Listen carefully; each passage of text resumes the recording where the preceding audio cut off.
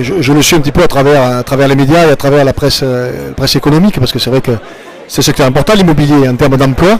Et quand on voit qu'il est au ralenti, ben voilà, ça, ça, il en découle beaucoup de chômage. Et donc on le sait que c'est un des vecteurs euh, essentiels de croissance et que donc il faut s'occuper euh, mieux que cela de l'immobilier pour le relancer parce qu'il est en chute libre et c'est difficile.